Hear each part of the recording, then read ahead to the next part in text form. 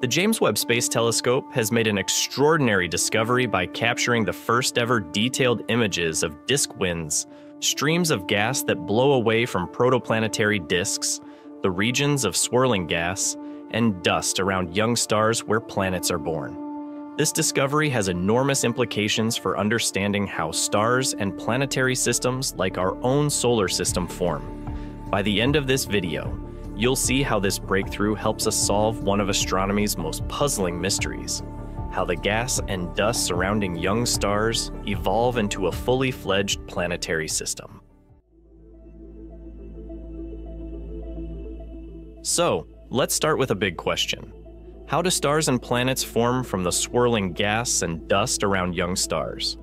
The James Webb Telescope recently captured stunning images of disk winds, which are streams of gas that blow away from these planet forming disks. Magnetic fields drive these winds, which can reach speeds of tens of miles per second. But why does this matter? The key to understanding planet formation lies in something called angular momentum. Imagine a figure skater. When they pull their arms in, they spin faster, but they slow down when they stretch them out. This is how angular momentum works. For gas in a protoplanetary disk to move toward a young star and help it grow, it needs to lose some of that momentum. If not, the gas would keep orbiting the star forever and never fall onto it. This is where disk winds come in. Webb's observations suggest that these winds are crucial in carrying away angular momentum, allowing the remaining gas to flow inward and feed the growing star. Without these winds, the gas would sit there in orbit, and planets wouldn't form. So, in simple terms, disk winds help young stars grow by shaping their surrounding disks and enabling planetary formation. Webb's high sensitivity allowed astronomers to track these winds in fine detail.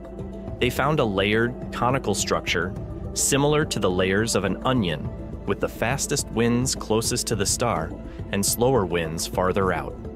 These winds act like a cosmic recycling system, helping to regulate how much gas stays in the disk to form planets and how much is blown away into space.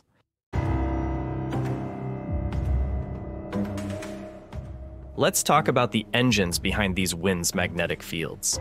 Think of these fields as invisible forces that push gas out of the disk, almost like a slingshot.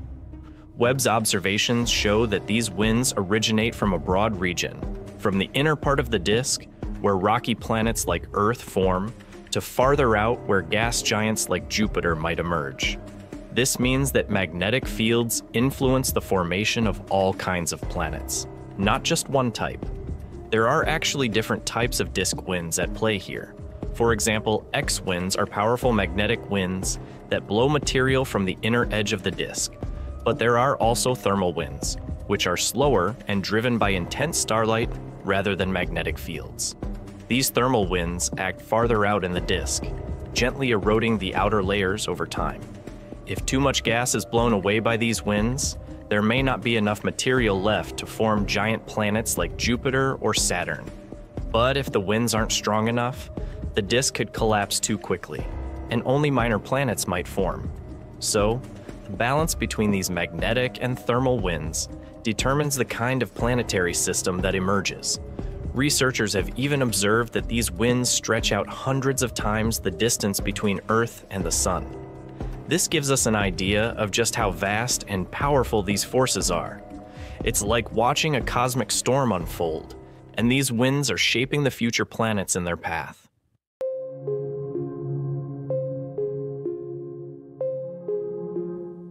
One exciting future direction is comparing these findings to what we've learned from other observatories like the Atacama Large Millimeter Array, ALMA, and the Hubble Space Telescope.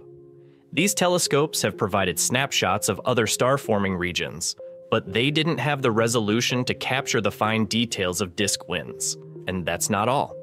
The role of disk winds in exoplanet formation is also becoming more transparent. Disk winds influence not only the formation of planets, but also their atmospheres. By removing gas and dust from the environment, these winds can determine whether a planet has a thick atmosphere like Venus or a thin one like Mars. In fact, Webb's findings suggest that disk winds could play a role in making planets habitable by regulating the amount of gas that surrounds them. This discovery also ties into our understanding of planetary atmospheres. As researchers like Dr. Uma Gorti from the SETI Institute have pointed out, gas dispersal in these disks limits the time frame for planet formation. The sooner the gas is blown away, the faster planets need to form. This helps us understand why some star systems might have more rocky planets like Earth, while others might have more gas giants. But we're just scratching the surface. By studying more protoplanetary disks with Webb, we might even be able to observe how these winds evolve over time, giving us a front row seat to the birth of new planets. This will be key to understanding not just how planets form, but how entire planetary systems like our own solar system came to be.